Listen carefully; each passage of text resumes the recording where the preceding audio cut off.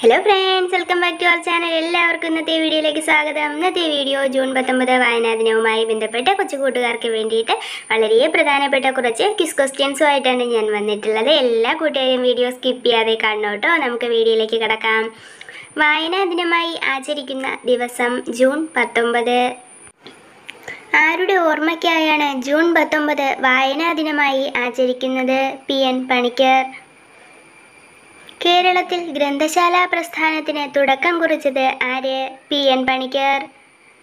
ഗ്രന്ഥശാല സംഘം രജിസ്റ്റർ ചെയ്ത വർഷം ആയിരത്തി തൊള്ളായിരത്തി നാൽപ്പത്തിയേഴ് ഗ്രന്ഥശാല സംഘം തിരുക്കൊച്ചി ഗ്രന്ഥശാല സംഘം എന്നാക്കിയ വർഷം ആയിരത്തി തൊള്ളായിരത്തി നാൽപ്പത്തി ഒൻപത് ജൂലൈ.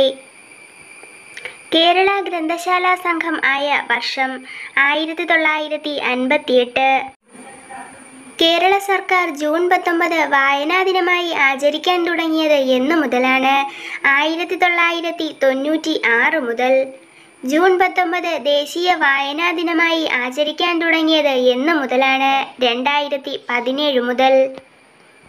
ആരുടെ ചരമദിനമാണ് വായനാ ദിനമായി ആചരിക്കുന്നത്? P. N. Panicker. P N പണിക്കരുടെ ചരമദിനം എന്നാണ് ആയിരത്തി തൊള്ളായിരത്തി തൊണ്ണൂറ്റിയഞ്ച് ജൂൺ പത്തൊമ്പത്.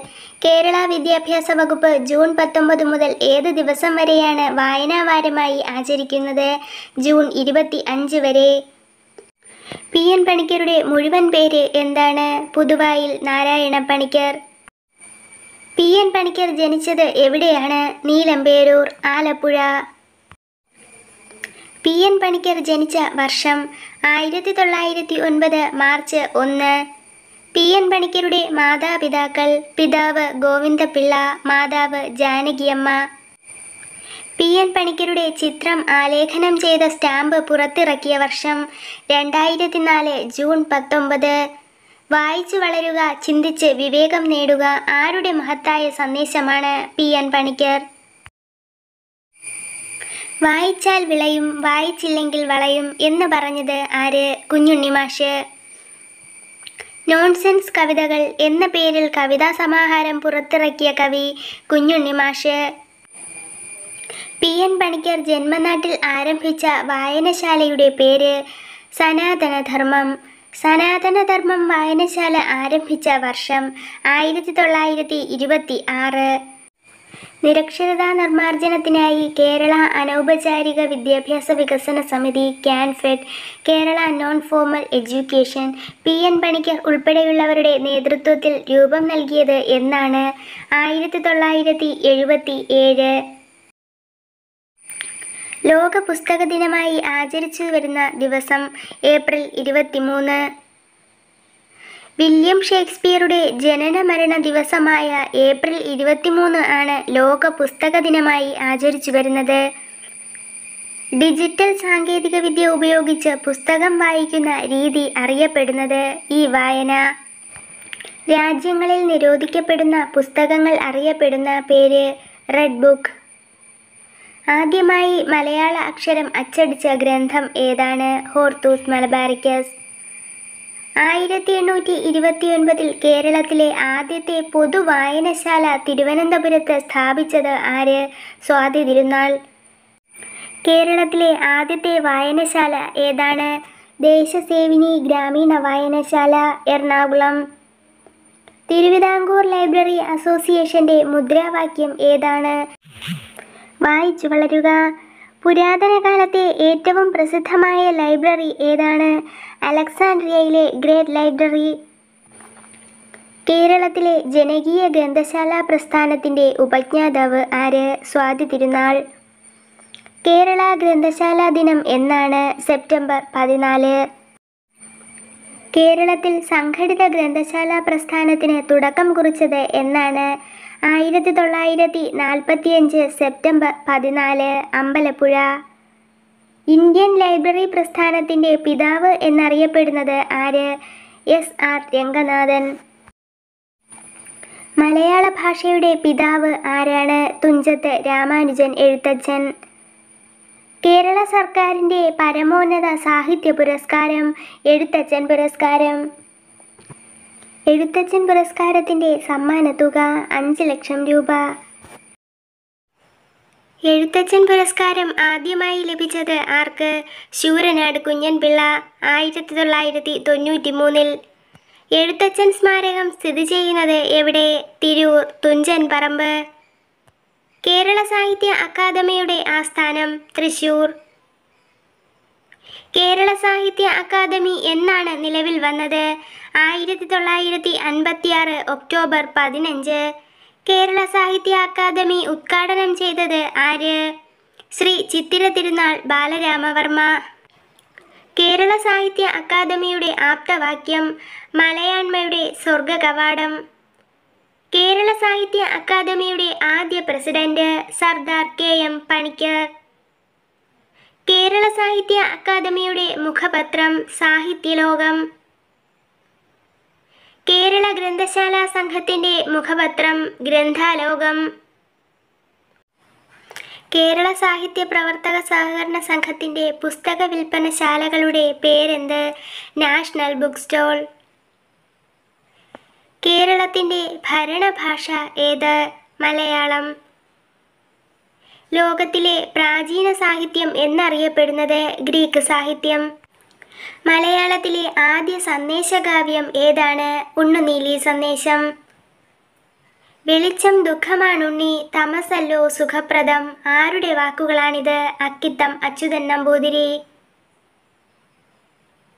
ഇന്ത്യ എന്റെ രാജ്യം എന്റെ സ്വന്തം രാജ്യം എന്ന് തുടങ്ങുന്ന കവിത രചിച്ചത് ആര്? ചെമ്മനം ചാക്കോ.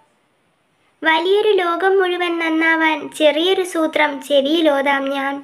ആരുടെ വാക്കുകൾ കുഞ്ഞുണ്ണി മാഷ്?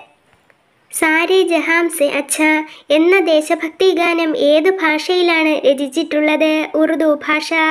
മാറ്റുവിൻ ചട്ടങ്ങളെ സ്വയമല്ലെങ്കിൽ മാറ്റുമതുകളിൽ നിങ്ങളെത്താൻ ആരുടെ വരികളാണിത്? കുമാരൻ.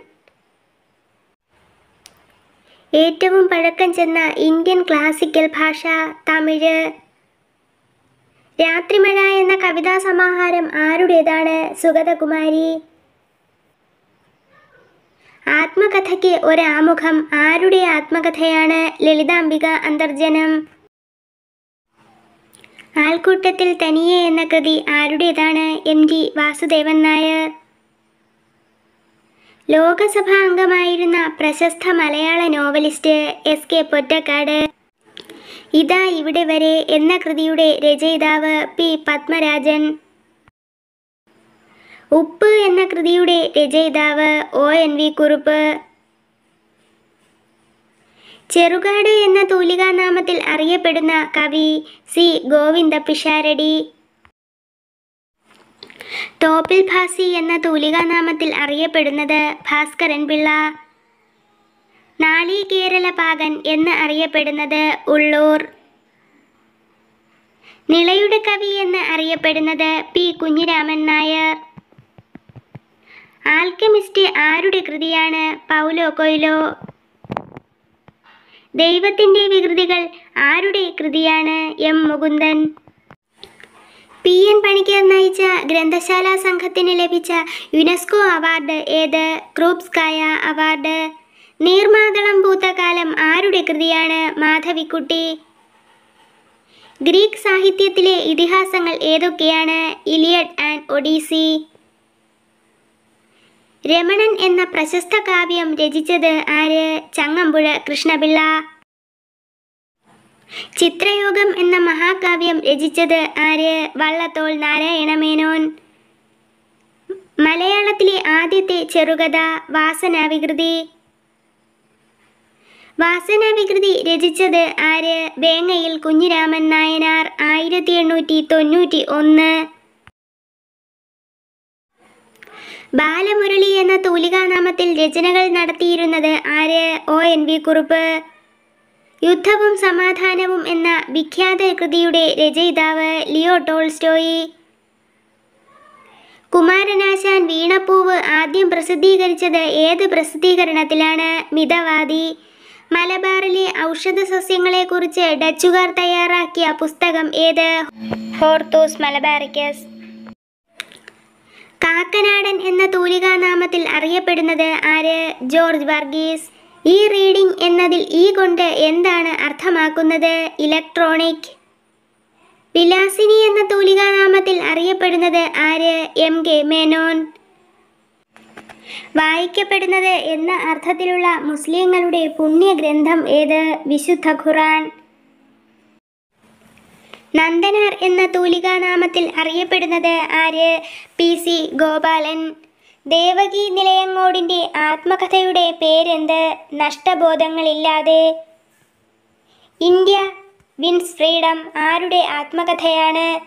അബ്ദുൽ കലാം ആസാദ്.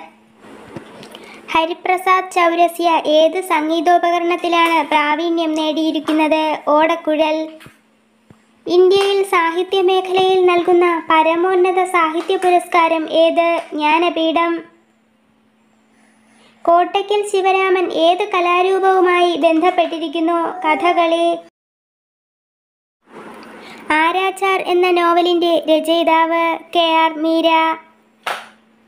ദേശീയ ലൈബ്രറിയൻ ദിനം എന്നാണ് ആഗസ്റ്റ് പന്ത്രണ്ട്. ഇന്ത്യയിലെ രണ്ടാമത്തെ വലിയ ലൈബ്രറി ഏത്? Parliament library. ത്രിപുര സുന്ദരി കൊച്ചമ്മ ഏത് നോവലിലെ കഥാപാത്രമാണ്? Dharmaraja C V Raman Pillai. കുറത്തി എന്ന കവിതയുടെ രചയിതാവ് ആര്? കടമ്മനിട്ട. മാതൃഭൂമിയുടെ സ്ഥാപക പത്രാധിപർ ആര്? K P Kesava Menon. സൂര്യ നമ്പൂതിരിപ്പാട് ഏത് നോവലിലെ കഥാപാത്രമാണ്? ഇന്ദുലേഖ. കോവിലൻ എന്ന തൂലികാനാമത്തിൽ അറിയപ്പെടുന്ന എഴുത്തുകാരൻ വി. വി. അയ്യപ്പൻ. മലയാളത്തിലെ ആദ്യ അപസർപ്പക നോവലായ ഭാസ്കരമേനോൻ എഴുതിയത് ആരാണ്? അപ്പൻ തമ്പുരാൻ. പ്രഥമ കേരള ജ്യോതി പുരസ്കാരം നേടിയ സാഹിത്യകാരൻ എം. ടി. വാസുദേവൻ നായർ. ഇന്നത്തെ വീഡിയോ എല്ലാ കൊച്ചുകൂട്ടുകാർക്കും ഉപകാരപ്പെട്ട് കാണുമെന്ന് പ്രതീക്ഷിക്കുന്നു. വീഡിയോ ഇഷ്ടമായാൽ തീർച്ചയായിട്ടും ലൈക്ക് ചെയ്യാനും നിങ്ങളുടെ ഫ്രണ്ട്സിനൊക്കെ ഒന്ന് ഷെയർ ചെയ്ത് കൊടുത്ത് ദയവേത് ചാനൽ സബ്സ്ക്രൈബ് ചെയ്യാനും ആരും മറക്കരുത് കേട്ടോ.